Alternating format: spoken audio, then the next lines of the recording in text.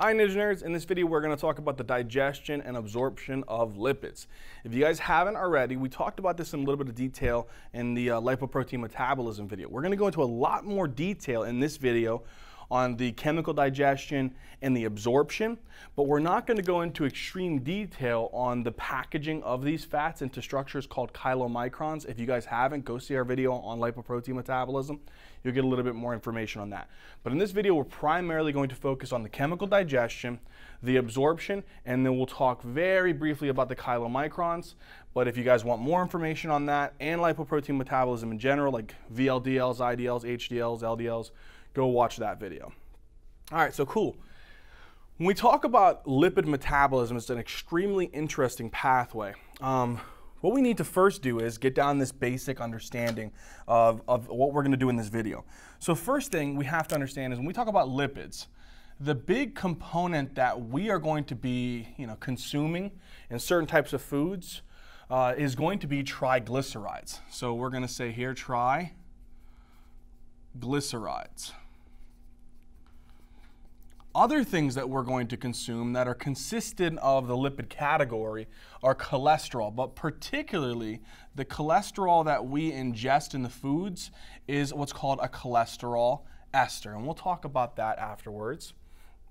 And the next thing I want to talk about after that is there's going to be one more substance that we can find abundant within the lipids too, and that's going to be uh, phospholipids. So certain types of substance, substances in food that contains phospholipids. But of the most significant here in CAPS is going to be the triglycerides. This is going to be the one that we contain tons of whenever we actually consume certain foods rich in fats. Imagine, I don't know, taking some butter or oil, you know, certain types of foods that are rich in fats. Now, what we're going to do is, in this process, we're going to take these triglycerides, these cholesterol esters, these phospholipids, which we're going to categorize or group as a polymer, right? We're going to call these our polymers. And remember, polymers are the large unit of these actual macromolecules, the lipids. What we're going to do is we're going to take these polymers and we are going to break them down through specific enzymatic steps into monomers. What are some of those monomers?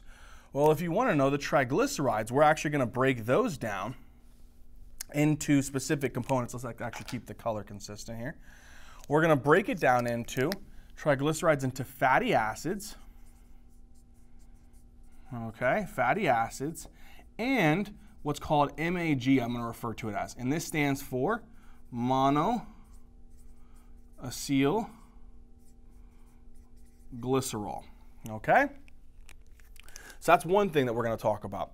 The next thing is we're going to take cholesterol esters and break down cholesterol esters into cholesterol. You'll see how we do that afterwards as well.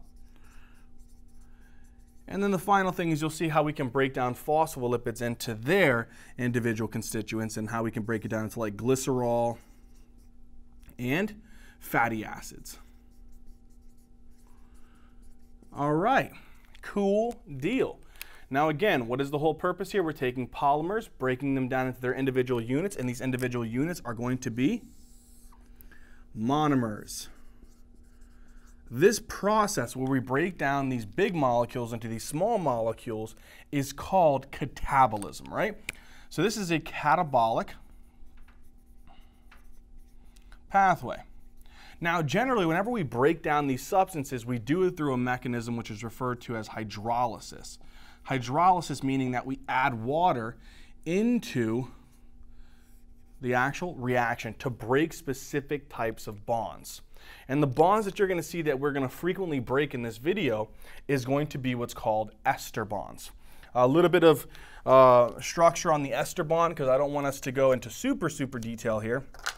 But the basic structure of an ester, if some of you have taken biochemistry, if you had organic chemistry, the basic structure of an ester is you have what's called a carbonyl compound.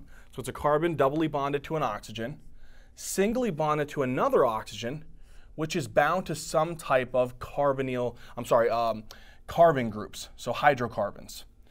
And then coming off the other side, there's this carbon who's doubly bonded to the oxygen is also bound to some hydrocarbons. So this is the basic structure here of what we refer to as a ester.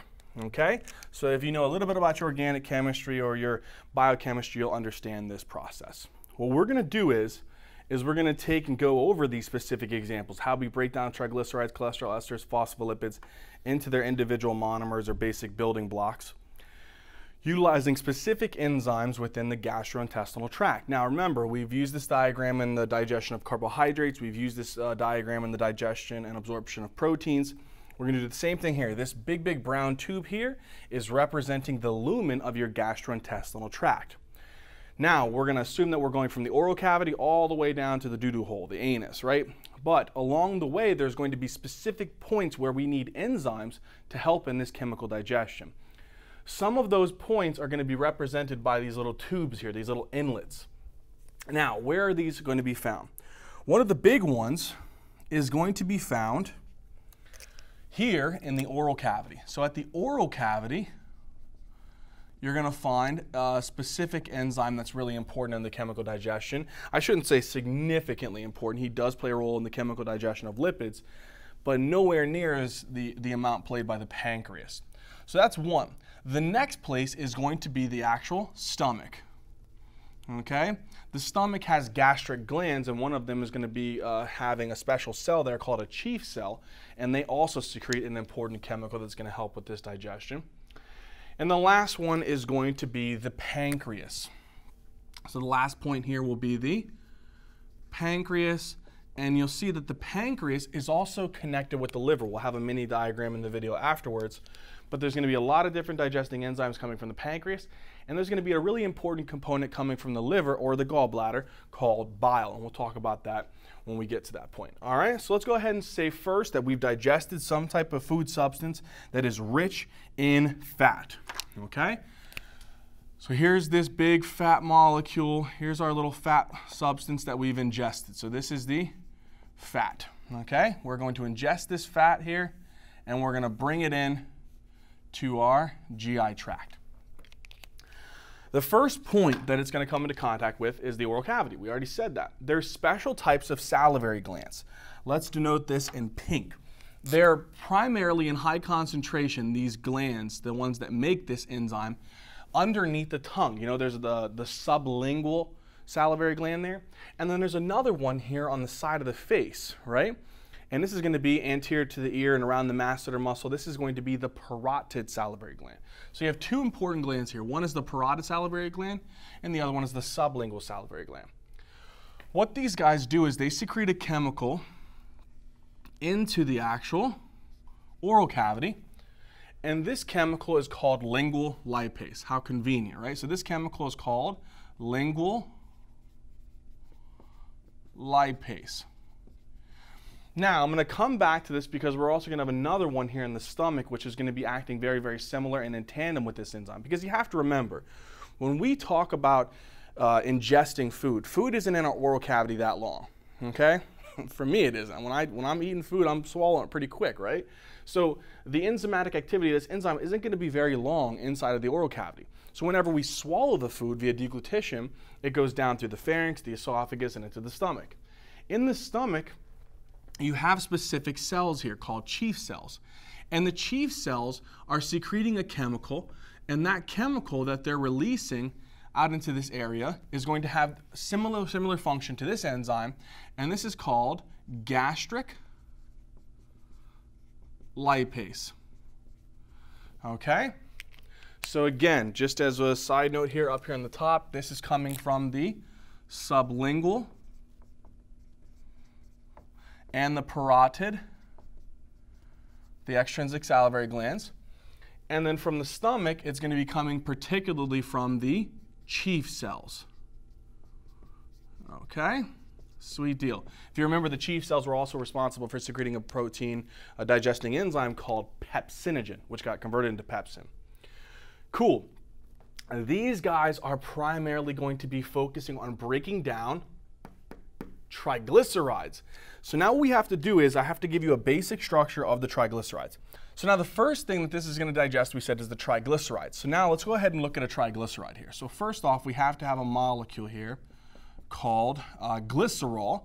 And glycerol is really important because it's going to be one of the structures of the triglyceride. Okay, so here we have this, and then coming off of glycerol generally has these OH groups. But we get rid of the H and we combine onto this a fatty acid. So now what I need to have here is I'm going to have a carbon doubly bonded to an oxygen, and then we're just going to have some hydrocarbons coming off of this point here. And then same thing right here, and then same thing right here. Okay. Remember I told you before there was a particular bond with inside of these structures here that was really, really specific that we wanted to know? What was that bond? An ester bond. It was an ester bond. That is the bond that these enzymes are going to be particularly looking to digest. So, lingual lipase and gastric lipase. What they're going to do is, is these guys are going to come in here and focus on breaking these bonds. So what it's going to do is it's going to come in here and try to digest these bonds. So now when these enzymes, lingual lipase and gastric lipase, come over here and they break the ester bonds, right? They're breaking these ester bonds and the lipids. They're not doing all of them because these guys are, do, are playing a very significant role in the chemical digestion, but not enough to break down all of the fat. Okay, you got to think about it. Whenever we are uh, ingesting food, that's coming, the lingual lipase is coming from the oral cavity, the gastric lipase is coming from the stomach. These enzymes aren't going to have a lot of time to be able to focus on these triglycerides and break them down completely. But what they will do is, when they break down the triglycerides, they can give off some free fatty acids. Let's assume here that the lingual lipase and the gastric lipase are able to cleave off a couple fatty acids. Let's say, let's just say two. Maybe they break down to two fatty acids. They give off two fatty acids. So now if that's the case then, I'm going to take here my glycerol, which is kind of like that backbone structure here. Let me get him drawn up here. And let's assume that the top two was the one that we lost. So if we lost this, we're going to cleave that off here. What's going to happen is this is going to get an OH there from the water reacting, and that's going to get an OH. But this part here, we're going to say we left it alone. We didn't break this bond. Let's assume that we did not break this bond. And if that is the case, we're still going to have this ester bond here that wasn't completely uh, digested. Now, what we see here as a structure is you have a fatty acid bound to a glycerol.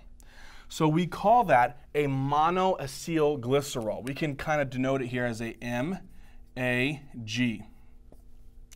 But what else did we release off of this? Technically, we actually released, released off two fatty acids. So what else should I have over here? I should also have two free fatty acids. Let me draw all these guys here. So boom, boom. There's my carbonyl. And here's one fatty acid, and let's say another one here. And there's my other fatty acid. So these are my free fatty acids. So when this enzyme, gastric lipase and lingual lipase function, they actually are designed to break down the ester bonds and triglycerides. And when they do it, they're not going to have a uh, large, large function here because the fats are, you have to think about it. If you take fats and water, what happens? They don't really mix that well. So because of that, these enzymes, lingual lipase and gastric lipase, have, don't have a large surface area that they have to work on. That's where bile is going to come into play. Okay? These enzymes are breaking down lipids, but not a large amount of them. And so this is something that we'll get as a result of the lingual lipase and the gastric lipase. Maybe some monoacylglycerol and some free fatty acids. But in reality, it's not going to break down a large amount of these triglycerides. A lot of these triglycerides are going to continue to go down the gut tube, eventually till we get to the small intestine. So now let's go to the small intestine. So we already talked about the stomach, we already talked about the oral cavity structures. Now we're going to get to this next level. The next level we're going to hit is we're going to be in this portion of the GI tract, which is going to be the duodenum. Now, if you have watched our videos, you'll realize that we know that the duodenum is important because what happens is you have a structure here. You know you have a structure here called the gallbladder. And the gallbladder is storing and concentrating the bile. There's one structure here, this green tube right here, which is actually getting bile from the liver via the right and left hepatic ducts, then the common hepatic ducts, fuses with the cystic duct here. And then what happens is it comes down to the level of the pancreas. And if you know, the pancreas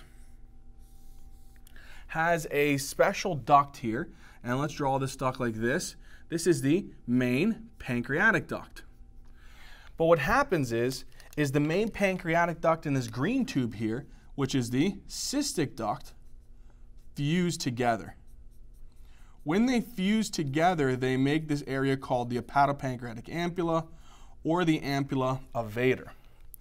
And what happens is that area right there is actually surrounded by a ring of smooth muscle. And that ring of smooth muscle is called the sphincter of Oddi, okay, or the hepatopancreatic sphincter. Why is this important? Because the gallbladder is storing and concentrating the bile. The liver is secreting the bile. The bile is going to be extremely important because whenever the bile comes out into the duodenum, let's assume that it actually opens up and releases out the bile. The bile is extremely crucial because the bile is actually going to be what's called an emulsification agent. So what is it called? It's called an emulsification agent. What that means is it's able to take a big, big, big fat globule and break it down into smaller fatty droplets. Let me show you what I mean here. Okay, so let's assume that the duodenum, we're here at the duodenum. Let's assume that this is the pancreas, and then remember that the, the common hepatic duct and the cystic duct are fusing and bringing down that common bile duct. Here's our common bile duct. Okay? And what are they releasing out into this area? Whenever that muscle relaxes, it's going to secrete out what chemicals? Two specific chemicals. One is it's going to secrete out the bile, and the other one is it's going to secrete out pancreatic lipase. Pancreatic lipase. All right, sweet. So before we can actually talk about pancreatic lipase, we have to talk about the bile first. So remember, the whole purpose of the bile is to act as an emulsification agent. If you guys have ever washed dishes before, you've ever had like certain foods that are rich in fat, and let's say that it's on the plate and you mix it with water, the water isn't enough to get all that grease off, right, or all that fat off. Then what do you have to add? You have to add some dish detergent. The dish detergent is actually going to be an emulsification agent. Why? In bile, there's a lot of different substances, but crucial to this video is going to be two substances. one is what's called phospholipids, particularly one called lecithin. Okay, that's one. The other component of the bile here that we're going to want to know about is what's called your bile salts. And these are going to be like cholic acid, and chino deoxycholic acid. These are actually derivatives, these two, cholic acid and chenodeoxycholic acid, are derivatives of cholesterol. Now, what these two molecules are is they're kind of like amphipathic molecules. What does that mean? Let's imagine here that I have that big fat globule. So here is going to be the big fat globule that we're going to refer to here. Here's my big fat globule. And in that big fat globule, I have a lot of triglycerides, okay? I might even have some cholesterol esters, which I'm gonna re represent as CHE. I might even have a little bit of phospholipids in this too. What happens is this fat globule, imagine it kind of just like floating on top of this chyme. This is going to be the intestinal chyme. So all this right here is the intestinal chyme. It's the fluid secretion. Okay, all the intestinal chyme. Intestinal chyme. Now, when we talk about this intestinal chyme, what I'm really, really referring to here is I'm referring to the watery secretions from the intestinal chyme. So I'm talking about a lot of the watery secretions. This fat globule is just going to kind of sit on top of it. And the problem with that is, is we have some special enzymes that were actually secreted. Remember we talked about the pancreatic lipase? The pancreatic lipase is just sitting down here and he's like, man, I want me some fat globules. Problem is though, he doesn't have enough surface area to work on. So here's where these emulsification agents come into play. The first thing that we want is we're going to want phospholipids. So this is going to come first. The phospholipids will be first, and the bile salts will come second. Okay, and you'll see what I mean in this. What these molecules do is, is if you take a bile salt or you take a phospholipid, one side, let's imagine that it's just like this circle here. One side of it has a lot of negative charges. Okay, one side of it has a lot of negative charges. And this side of it, which is like the ionic side or the hydrophilic side, is the part that can interact with the actual intestinal chyme here, the watery secretions, and get that uh, fat uh, globule to kind of get distributed into this intestinal watery chyme. The other part of it is actually going to be this top part here, and this part is really, really good at being able to interact with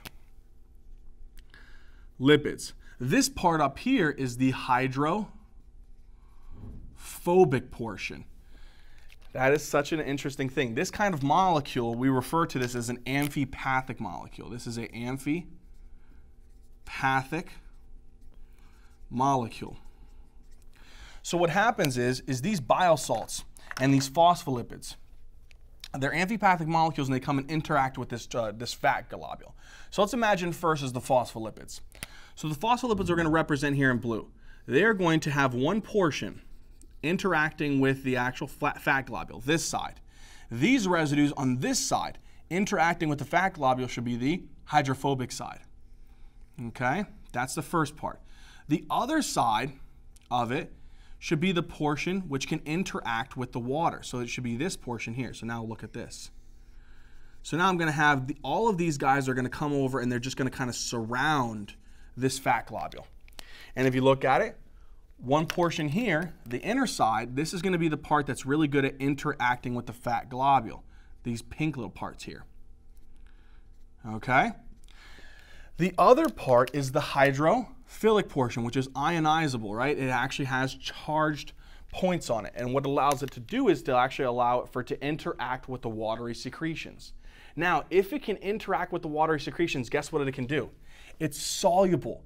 It can mix with this intestinal chyme. So now let me bring the intestinal chyme down a little bit, like a little bit deeper. So now look what's going to happen here. It's going to be a little bit deeper. And now that actual fat globule is able to be distributed into this intestinal chyme. So now from here, I'm going to bring this puppy down into this area here. Because now I have the things to surround it, which is hydrophilic interacting with the water, and keeping it bound there, I'm going to have these hydrophobic portions. Such a cool thing.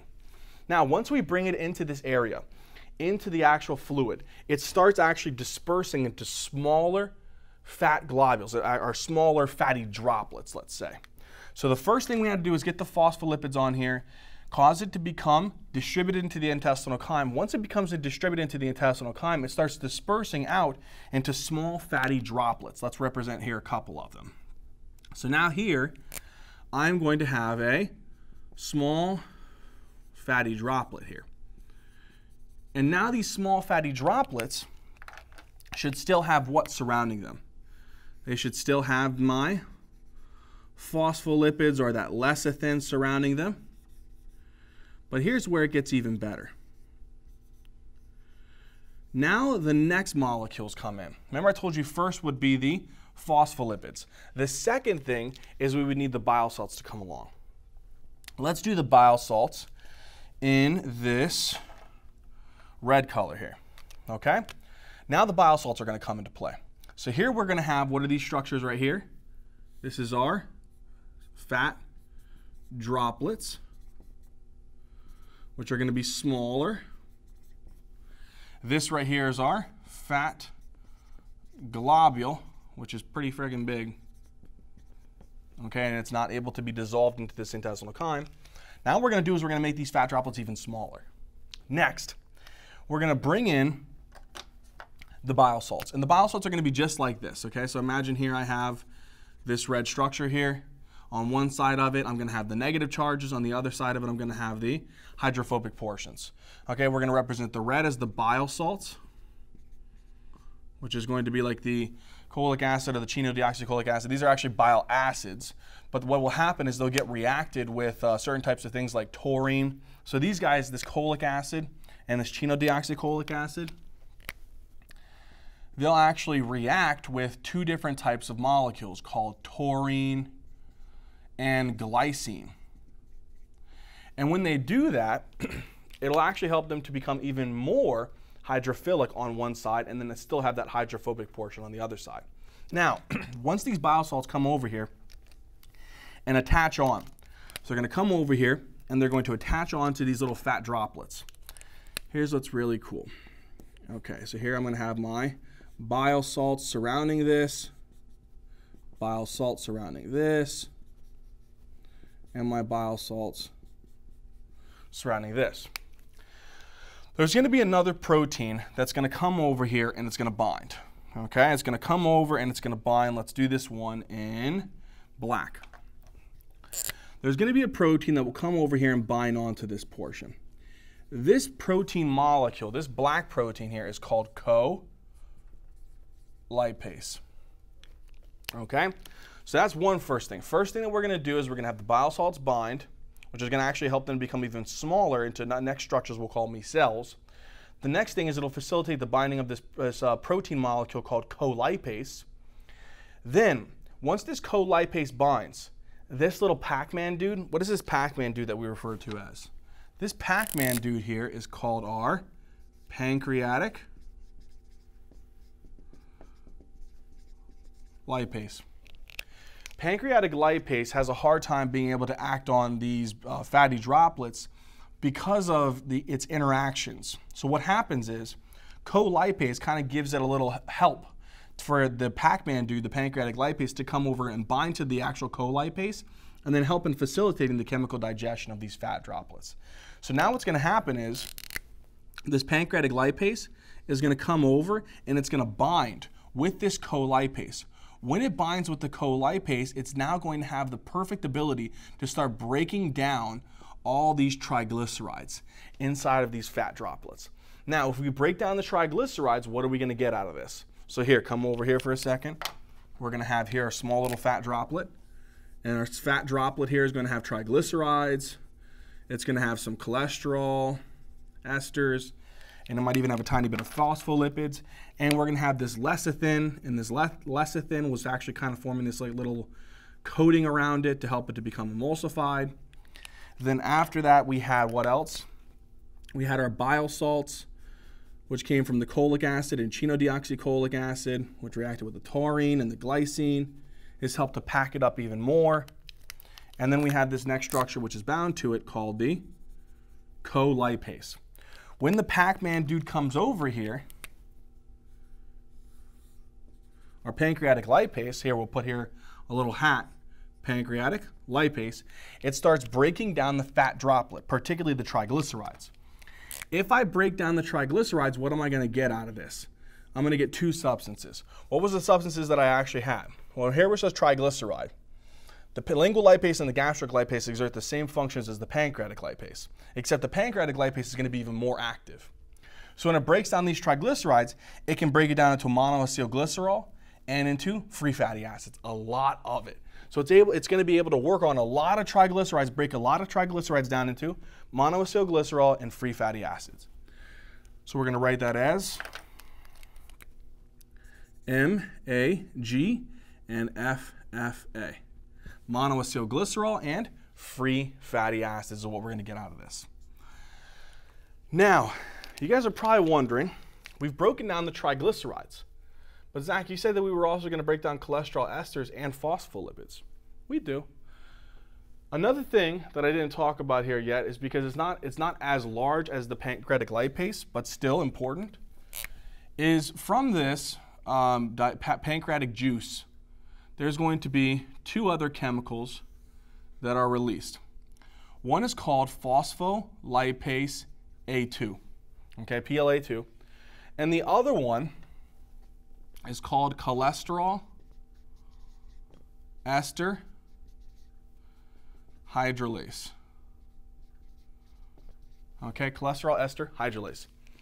The phospholipase A2, guess what it's going to do? It's going to come over and break down phospholipids. Phospholipids are kind of just like these uh, triglycerides. If you want to know a little bit about it, here I'll show you a very tiny little quick thing here. Imagine here I have my glycerol. And let's say here I'm going to have a phosphate group coming off here. That phosphate group allows for it to be nice and polar. And then coming off here, I'm going to have a um, two hydrogens. I'll have a total of two hydrogens here. And then coming off of this point here, I'm going to have my fatty acids. And let's say here again, I'll have a fatty acid. And usually one of these has a double bond in there which causes it to be a little kinked. And it causes the phospholipid to take on like this little bent structure. Okay? But this is our phospholipids. So what happens is, is this phospholipase A2 is going to be really good at breaking down these actual phospholipids. And it breaks it down into the free fatty acids and even some of that actual glycerol. So that's one thing, okay? The other one is the cholesterol ester hydroxylase. Same thing, you don't have to know too much like all the different things like this, but if you remember cholesterol has this basic structure here, like there's a bunch of rings and what's important here is that it has this OH group over here. And usually what happens is if I take this OH group and I bond it with a fatty acid, I have this structure here, which we refer to as a cholesterol ester. Usually it has something like this. Okay, and boom, and then usually a boom here. All right, but this is the basic structure of our cholesterol ester.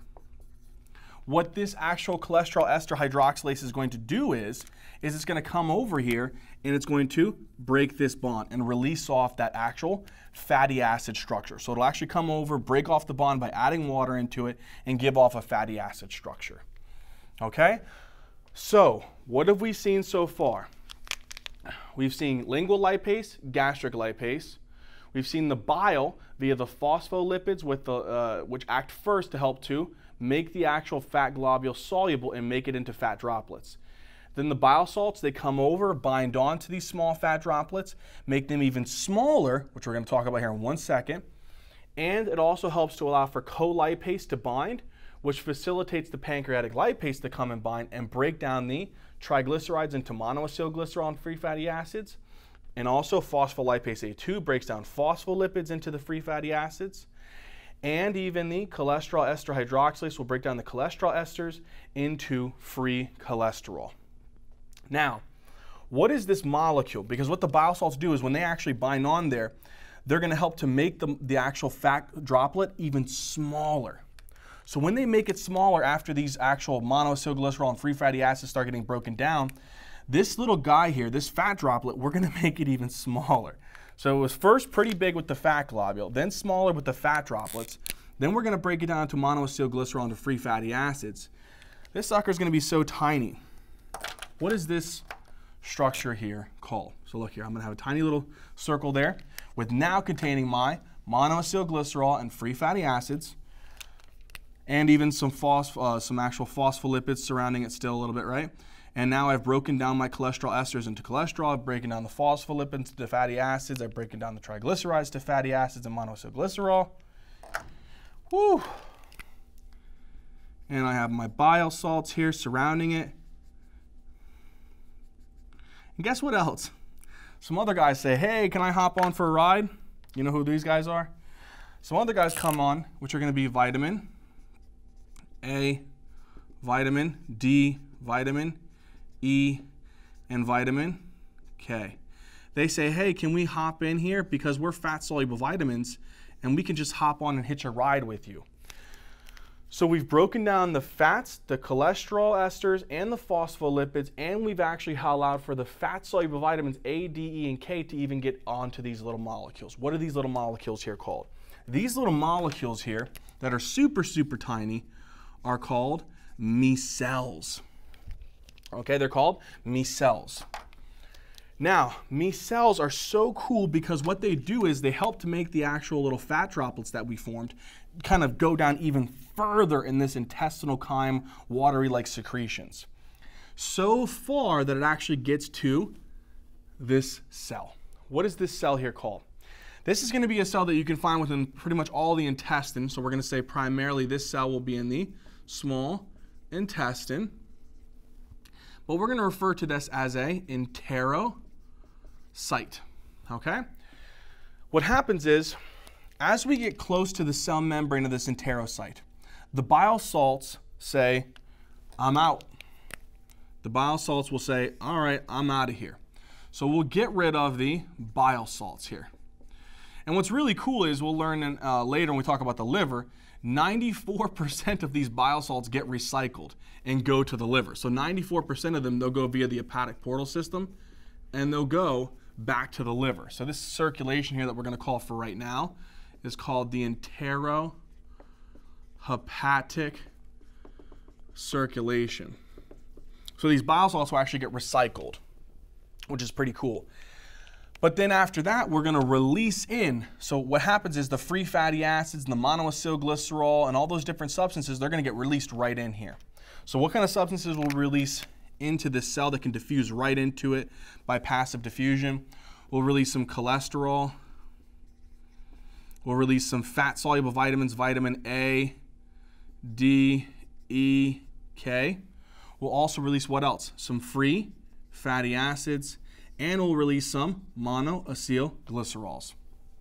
Now, what these guys are going to do is, is we're going to take a lot of these substances, particularly the free fatty acids, and even some of the cholesterol, and we're going to take it to a specific area, which is going to be what's called the smooth endoplasmic reticulum. Okay, so this red structure here is going to be our smooth endoplasmic reticulum.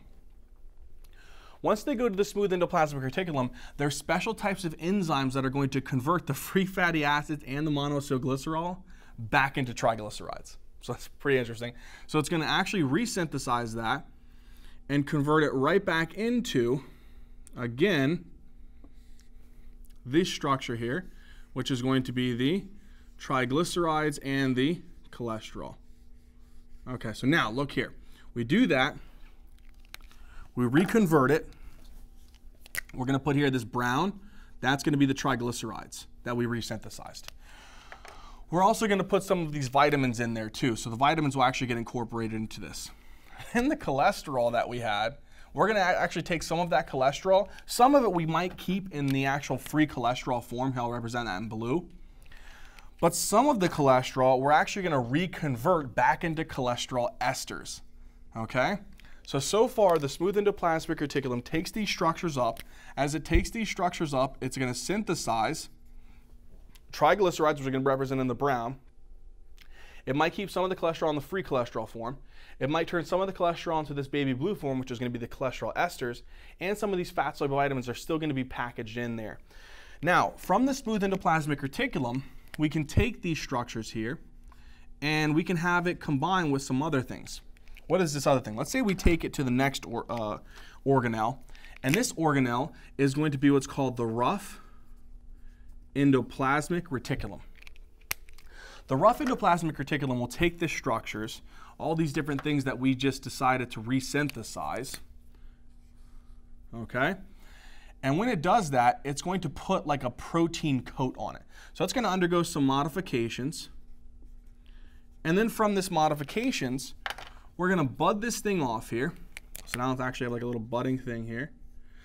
And from this, we're going to get a structure here.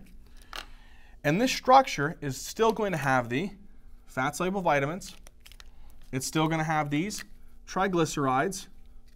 It's still going to have some cholesterol. And it's still going to have some cholesterol esters and if we did have any fatty acids that we, uh, free fatty acids and some other structures here, we can even do one more structure here, not super, super uh, care, careful about it, I mean, uh, sensitive about it, but other things that could be phospholipids.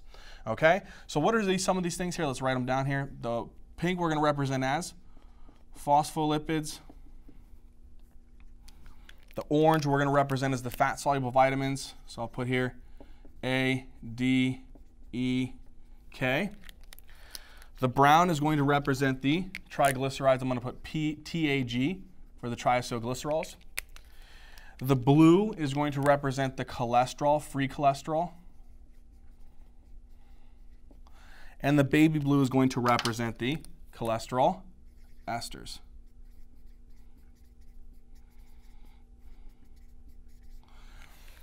Now, once we have all that, we start throwing in another protein. So the rough endoplasmic reticulum actually puts a protein on the outer part of it. Let's do this one here in black. It puts an outer protein on this one. So here I'm going to have this protein here, and this protein that it's going to put on the outer part of it is going to be what's called ApoB48.